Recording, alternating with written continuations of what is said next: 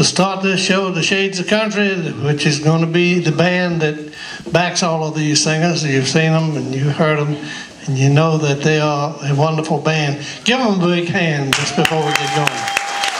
The Shades of Country. And our first entertainer, we're going to have an entertainer not in competition.